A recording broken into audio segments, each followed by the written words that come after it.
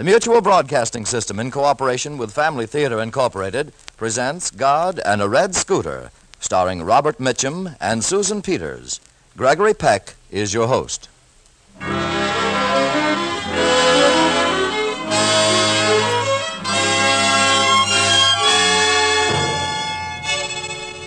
More things are wrought by prayer than this world dreams of.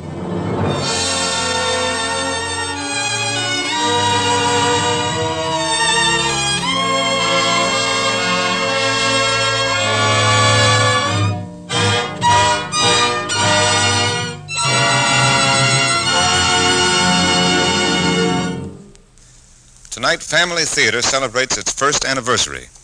As host of the birthday program, I want to say a sincere thanks to our radio audience on behalf of all associated with Family Theater. A sincere thanks to you for the wonderful response you've given to the program during the past year. Your letters have been a real encouragement to all who have helped in making these broadcasts possible. And they are possible because so many of us believe in the principles of family theater. We believe in the need for trust and faith in God, which must be part of our everyday living if we are to find the meaning and the true purpose of life. We believe that today there is a great need to strengthen family life in America because only a vigorous, wholesome, and moral home life will keep our American way of life. And we are convinced that the daily practice of family prayer is the surest way to family peace, the surest way to happiness and understanding in our home. These are the simple convictions of family theater, the convictions so many of us share because we know that a prayerful home is a happy home.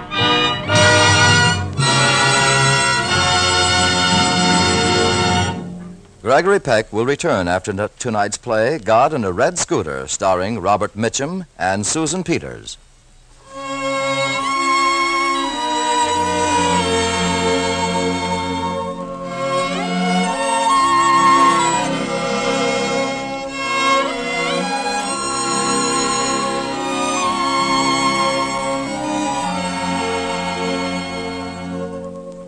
Sleep is beautiful. Sleep is a soft hand smoothing the frowns and frets on the tired faces of men. Sleep is a mother hand rocking the cradle of the world, rocking it softly, rocking men and women and all the little children to sweet silence and peace. That's what sleep is.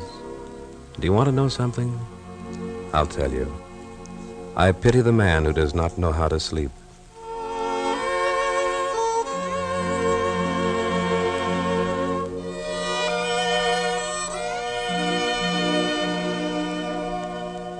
Consider little Eddie, five years old. I love little children like Eddie. Eddie knows how to sleep. Before he went to bed tonight, he was having a talk all by himself down there in the garden. This is the way he spoke this afternoon as he sat dropping pebbles into a milk bottle. And you know what I said, God? You know what I said to Daddy? I said, God did hear me. That's what I said. And God, remember when I said, please give me a red scooter like Stevie and Tony got? Remember when I said that? About the scooter? Didn't you hear me, God? Huh? Didn't you? Look, God, I got lots of pebbles. A whole million.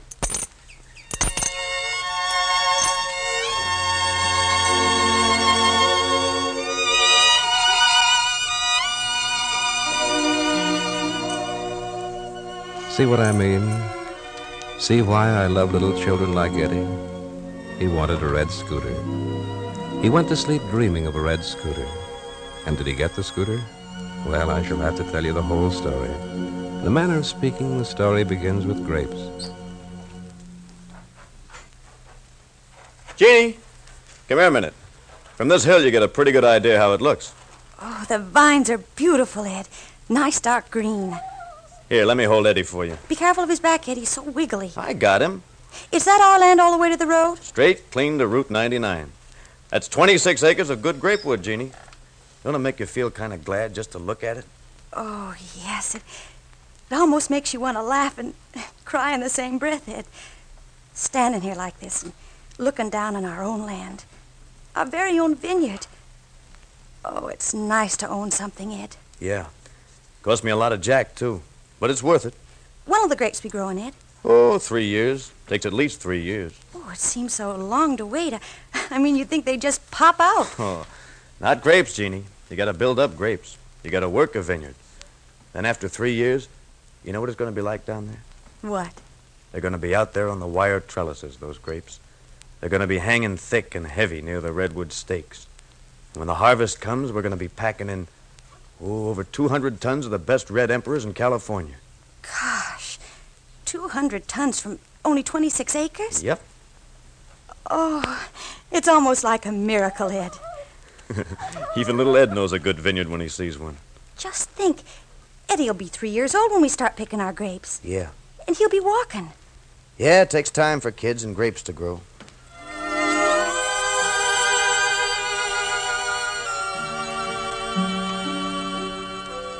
These plans, these husband and wife plans, spoken in sunny places, are delightful, invariably delightful. But I must repeat, I pity the man who does not know how to sleep. Just listen to him. Maybe I made a mistake. It's risky business. It's a gamble putting all your money into grapes. The man is worrying, mind you, at one o'clock in the morning. Could be a shrinkage. Could be a bad market. And then, well, I just can't afford to bump into a tough market. Look at him fidgeting with pencils and papers and doubts. Emperors should sell. Munson said Emperors was a good grape. But I don't know. Maybe, maybe I should have stocked up with Muscats or Ribiers. Norton did all right last year with Ribiers. All this at one o'clock in the morning when he should be asleep with his wife and babies.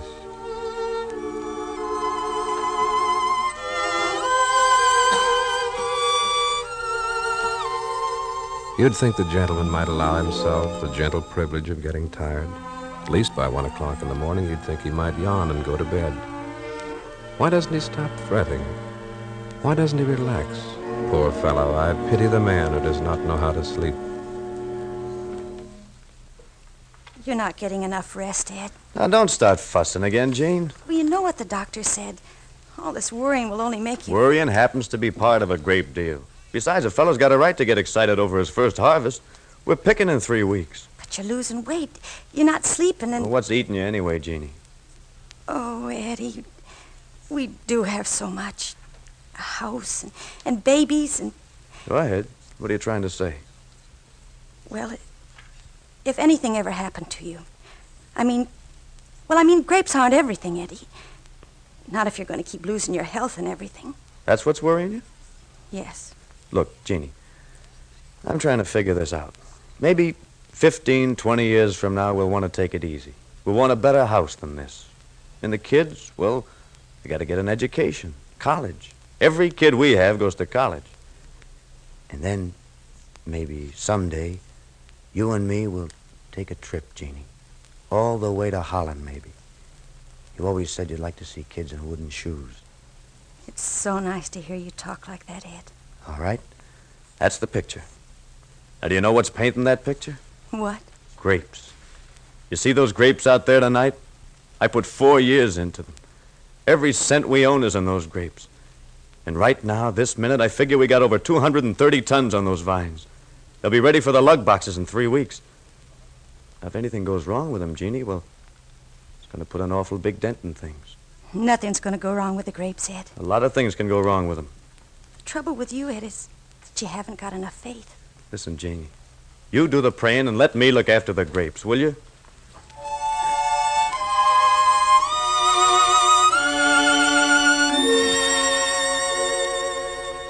Well, that's the way it is with some people.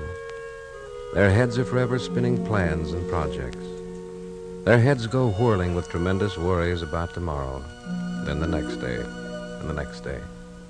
They're forever building barns and castles at one o'clock in the morning when they should be asleep. You'd think Edward might have a little more confidence in me. You'd think he'd stop worrying for the space of a quiet sleep and let- let me look after the grapes. For I do have a way with grapes, with vines and branches. Understand me, I'm not against plans and projects. I find no fault with the sweat on a man's brow. For labor's a magnificent and courageous thing. I'm talking rather about something that is more courageous than labor. I'm talking about relaxation, about confidence and trust and faith in me. I like the man who sleeps. I love the man who relaxes and who, like a child, rests easily in the arms of my providence. Not so with Edward. Edward is too full of plans, as if the plans of men were merely the plans of men. Listen to him. Sure, I'm ready to start, Campbell. My grapes can't wait. Where are those pickers you promised me? Coming up the valley as fast as we can, Ed. Don't blow your top, man. You got enough pickers for me? All you need. Only give me time. How soon do you figure to make it? Uh, we'll be cutting your vines by the 17th. I'll guarantee that. Okay, only make it fast. Fast as I can.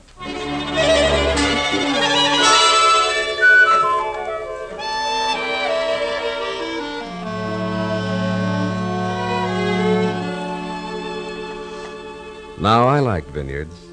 Vineyards and the fruit of the vine. Thick clustered grapes all bursting black and purple in the harvest time. These are among some of the lovelier aspects of my creation. I bear no grudges against vineyards, having regard for the littlest grape. But once in a while, by design, I have an eternal distaste for the haphazard and the fortuitous. Once in a while, by design, clouds will gather for reasons sufficient to the ultimate purpose of things.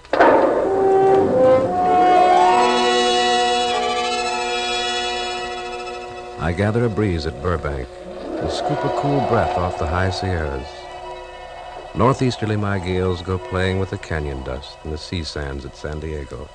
And quite suddenly, quite perceptibly, there's a mist in the Midlands, in the valley of the San Gabriel, and out around the mountains, down from the mountains, down around the flatlands of San Fernando.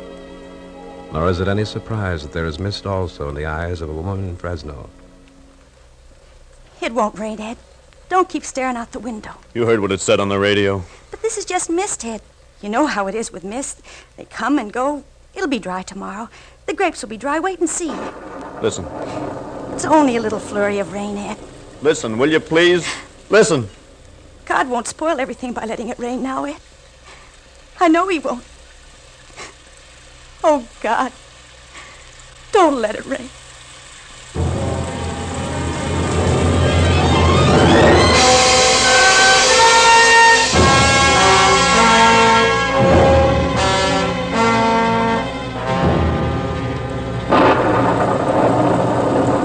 Yeah, God won't let it rain. Ed. Don't let it hurt you. Three days. Three days to harvest. And look at it tonight. I wonder how the boys feel tonight over at Del Rey and Sierra Madre. Yeah. I wonder if their lug boxes are floating around in the vineyards, too. What's the matter, Daddy? Huh? What's the matter? Go inside with your sisters, Eddie. Go inside. You work for years, prune, cultivate. You put every red cent you own into grapes, and what do you get? Washout. A man ain't supposed to cry. Yeah, a man ain't supposed to cry.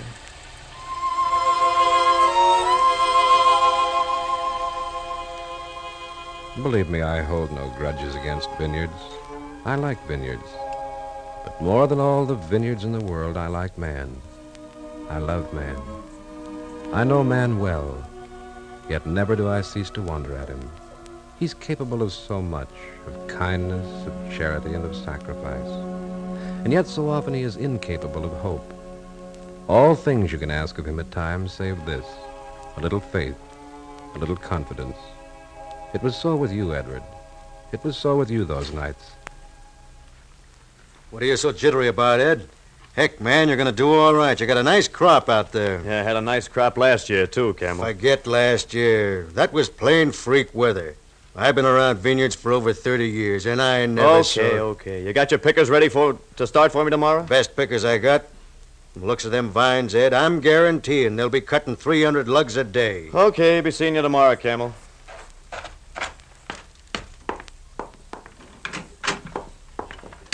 Jeannie! Oh, Jeannie, I got a surprise for you and the kids. Yeah, I wonder if she's lying down again. I know I'd find you in here, lazy bones. Jeannie, I want to take you and. Hey, what's the matter, Jeannie? Tired, Ed. You don't look good. You don't look good at all. Maybe I better get Doc Hanley for you. Wait a minute, Ed. It's funny. Somehow, I always had a feeling I'd be lying here like this, talking here like this, telling you sooner or later that What are you talking about? Ed, I'll be leaving here for a while. Now, look here. You just run down. Doc Hanley will have you fixed up in a jiffy. Come here, Ed. Sit on the bed.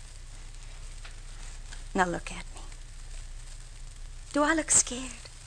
No, you, you don't look scared, but you look. Somehow, I know exactly how it's going to be. May, maybe you better start praying for me, Ed. Don't leave me alone, Eddie. Don't ever leave me alone. Just keep praying for me, and, and maybe we'll still take that trip someday. You and me. We'll go first class, huh? All the way to Holland to see the tulips and the kids with the little wooden shoes.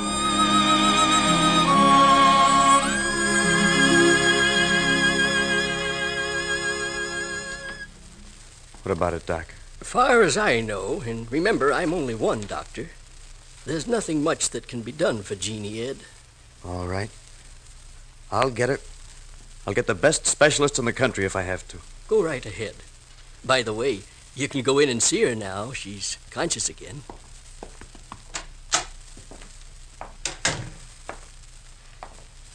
Hello, Jeannie, kid. Hello, Ed. You're looking pretty good, Jeannie. Your face is. Is still beautiful, honey. How are the kids? Good. Listen, Jeannie, I was just talking to Doc Hanley. I know, it. It's all right. I'm going to get you the best specialist in the country. Ed. Yeah? I asked you to do something for me once. Remember? Okay, Jeannie. You asked me to pray. Look, I'll get down on my knees right now. Do you really want me to start praying? No. No, not that way, yet. All right. Now, look, if I have to kidnap a half dozen of the best, best doctors, I'll do it. You're going to get better, Jeannie. You hear me, honey? You're going to get better. You'll be out of here before you know it.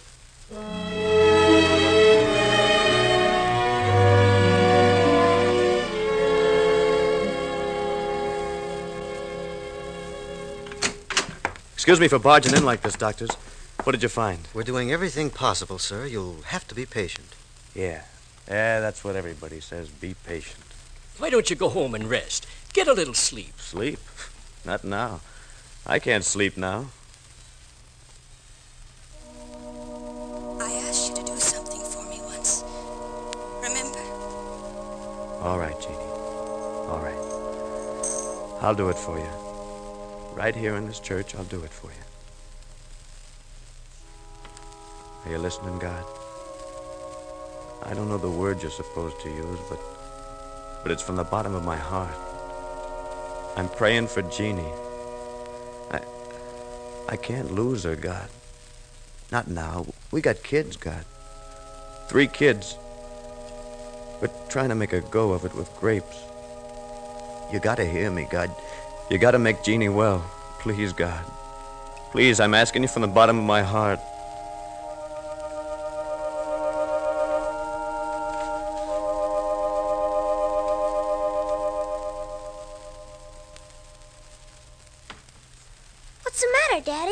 Nothing? Mom's sick, huh? Yeah. I got pebbles. Look. Put them in the milk bottle. Sixteen, twelve, seventeen. Why don't you ask God to send Mom home, huh? Want me to ask God for you, huh, Daddy? Fifty-six, fifty-seven. Huh, Daddy? Maybe God's got cotton in his ears, Eddie. Cotton? Yeah. You can't hear so good with cotton in your ears. He can hear me. That's so? Yep. Once he didn't hear you, Eddie. When? Well, remember when you asked him for that scooter? Yeah, a red scooter. Well, God didn't hear your prayers then, Eddie. Yes, he did. God did hear my prayers. Come over here. You're up on my knee. Now, what did you say? I said God did hear my prayers. That's so. What did he say to you? God said, He said no. Sometimes God says no, huh, Daddy? What's the matter, Daddy? What's the matter, huh? Hello? Is this the residence Yes, of... yes, nurse. What's the news? Well, we wanted to let you know that... Nurse? Nurse. Operator, I've been cut off. Operator, get me Mercy Hospital. The line's dead.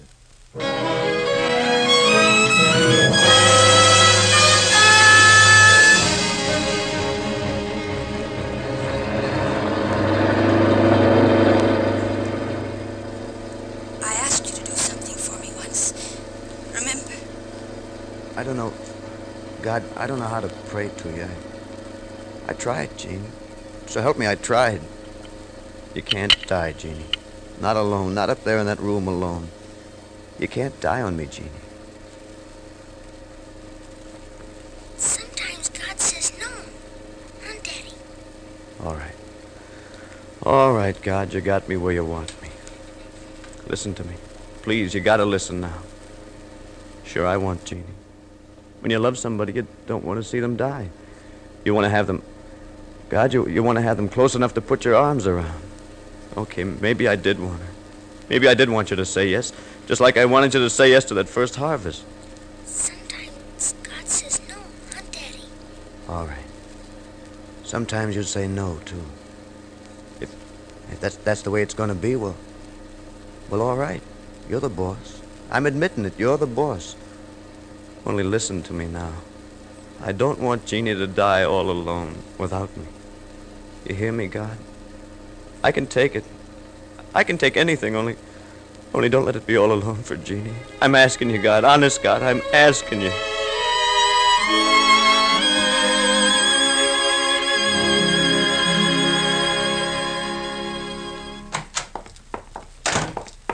Jeannie, Hello, Eddie.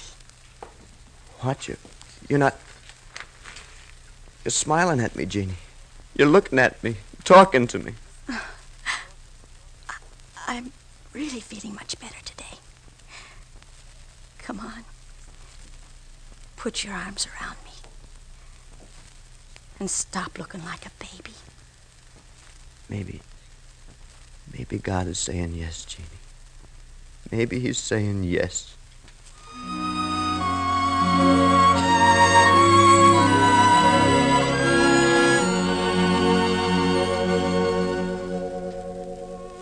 The night tonight is beautiful over California. For the first time in a long time, a tired man sleeps. Resting at last in the shadow of my hand, he sleeps. I might have said no. I have said no to some of my loveliest children, my best beloved. But know this always, Edward. There are times when my refusals are necessary to a plan you cannot understand. The little Eddie, being wiser in his innocence, seems to understand. That storm upon your vineyard, that storm that drew your curse, was a blessing to a thousand other Edwards. In pasture lands parched by the drought, 600 miles to the north.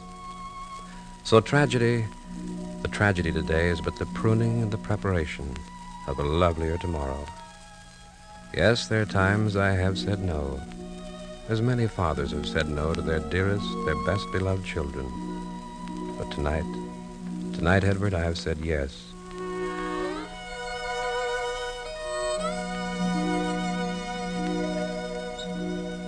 Night, rest lightly on the tired eyes of the man. And concerning Eddie, five years old, listen to him mixing his prayers tonight. Our Father, who art in heaven, the Lord is with thee, and blessed is the fruit. And give us this day our daily bread, and ever and ever and ever. Amen. And send me a scooter like Stevie's got.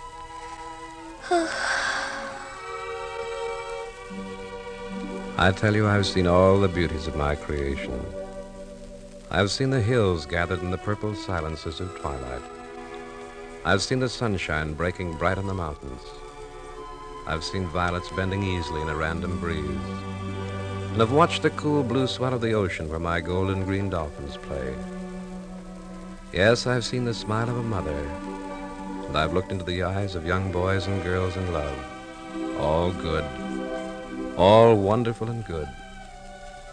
But I tell you, there's nothing so beautiful as the small face of a child, the small lips of a child fumbling a prayer, getting it mixed up, getting it tangled and sweetly muddled with sleep. Listen to him. A red scooter, huh, God? All right, Eddie. It'll be a red scooter. I've willed it, Eddie. A red scooter. I'll sleep, Eddie. Sleep.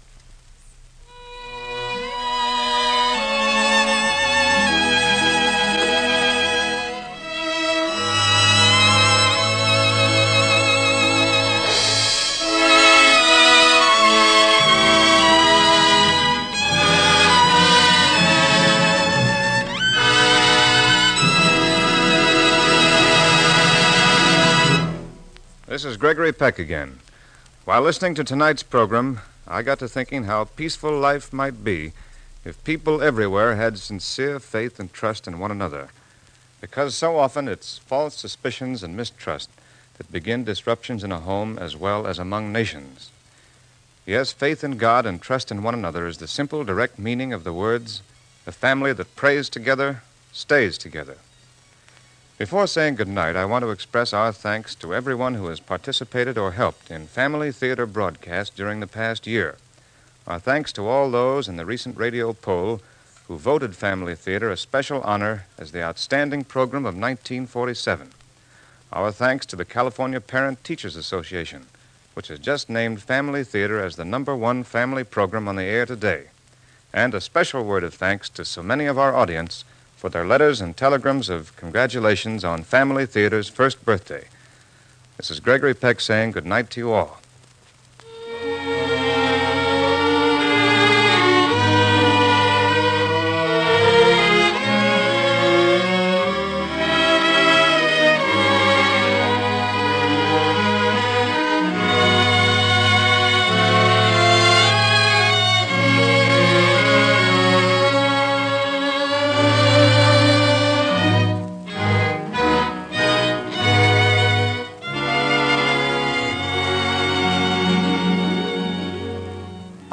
Thanks to Susan Peters and Robert Mitchum for their performances this evening, and to Rod O'Connor for his narration. Music was scored and conducted by Max Terr. This production of Family Theater Incorporated was written by Timothy Mulvey and directed by David Young. Others who appeared in tonight's play were Henry Blair, Gloria Blondell, Clayton Post, and Alan Harris. Next week, our Family Theater stars will be James Craig and Barbara Hale in Out of the Wilderness. Your hostess will be Maureen O'Hara.